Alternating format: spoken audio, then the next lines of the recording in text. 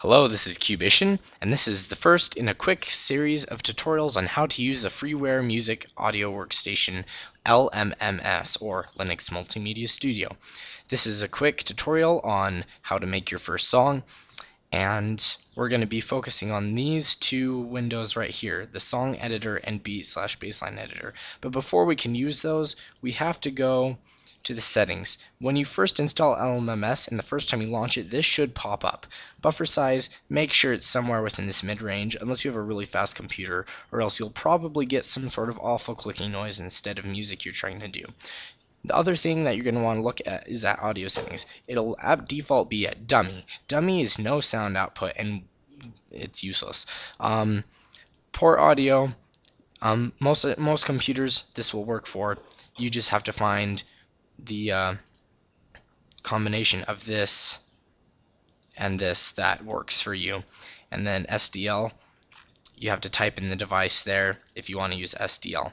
And that's really all you need to do before you can get started making music. Alright, song editor, first thing. These are all a bunch of things that will definitely look confusing unless you're familiar with some of the terms. It won't be very helpful to you. So, we're going to not really think about those right now and we're actually just going to delete all of these except for the triple oscillator. The triple oscillator is a digital instrument that we will that I will explain on a separate tutorial later. Right now we're just going to worry about the piano rolls where you actually insert the notes. So if you just click there and then double click on that little black box that pops up there in the in the song editor, you get this piano roll. A piano roll is essentially it shows notes in a time and a pitch sort of graph. So this axis right here is time and it's measured in bars and basically note values. Um, this is, well, it looks like a sideways piano because that's exactly what it is.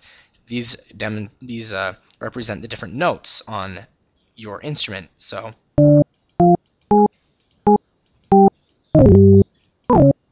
So while playing that is makes noise, yes, that's not really what's going to be useful. What's going to be useful is this area right here.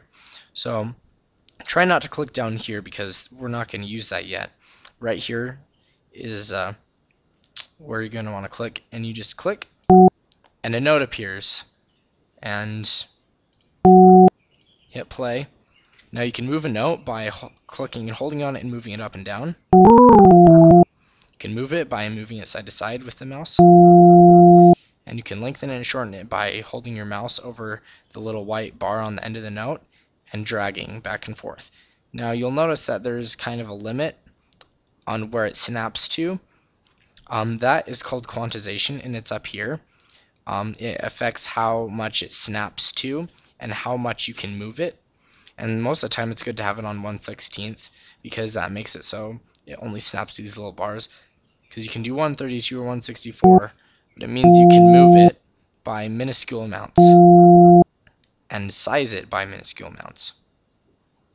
Which is handy if you're doing some sort of freaky fast melody or whatever, but Anyway, the idea is most of the time you're going to want to keep it on one of these higher values so that way you can get a general idea down before you start messing around with that. But if you do need to resize it or move it to something smaller, you just edit this quantization thing. Um, so, and then it's really simple. The piano roll, that's all it really is. You just put notes down.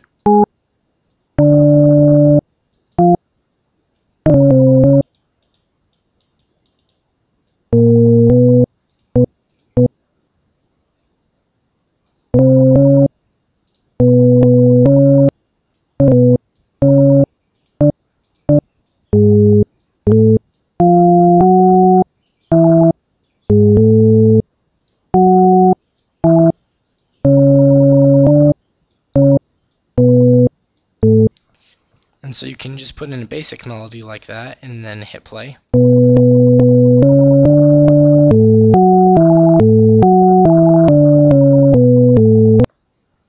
But say I don't want them all to be the same note, I can zoom in. You can hold down control and then use the mouse wheel to zoom in. Um, and then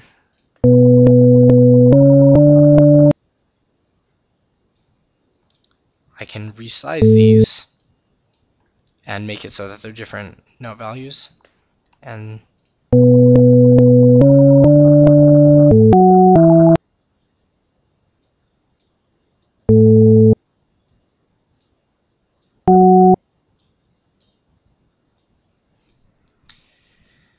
and thus that works. So that's the quick tutorial on how to use the piano roll. But however, we also have this device here called the beat slash bassline editor. And usually that's where you have your drum beats and whatever because it's essentially just a looper. You design a little sequence like that in here and then you place it and it repeats itself. So it has a bass drum in here by default and we can just click and if it's on then it'll play no if it's not just kind of like a simple step and then you can fill that in and then oh my that's a bit loud. But uh, so we'll just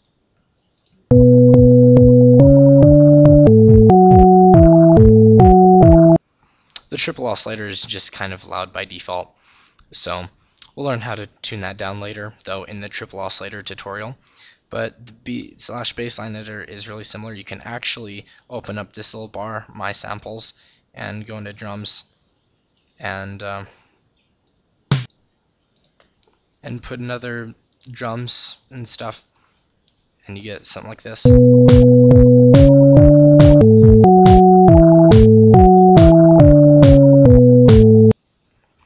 So that's really all there is to the beat slash bassline editor. It's very simple, very clean, it's nice, and that's a piano roll.